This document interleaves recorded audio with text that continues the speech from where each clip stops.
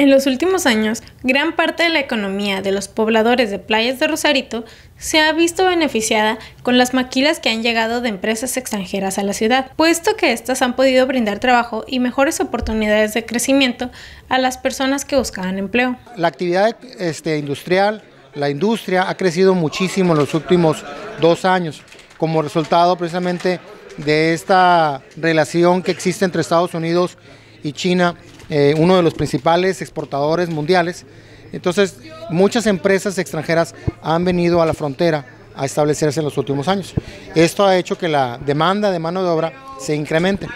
Eh, y la migración sí ayuda, porque muchas de las personas que llegan a la frontera y que no logran cruzar a Estados Unidos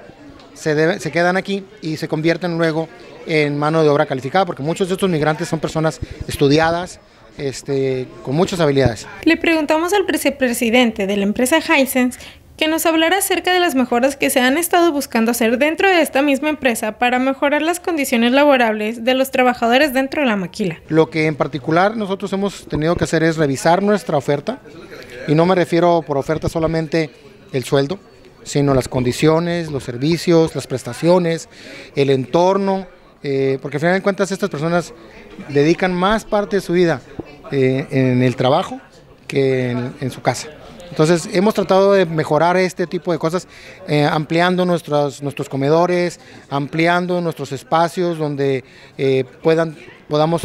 ofrecerles el cuidado de sus hijos, donde puedan tener áreas de esparcimiento y muchas otras cosas más. Sobre todo, por ejemplo, planes de, desarrollo y de oportunidades de crecimiento. Y retomando el hecho de que Baja California es uno de los estados que se ha poblado de más migrantes, no únicamente dentro del país, sino también extranjeros, nos comenta que en la actualidad Hisense cuenta con aproximadamente poco menos del 10% del total de sus 5.000 empleados siendo migrantes extranjeros. El Instituto Nacional de Migración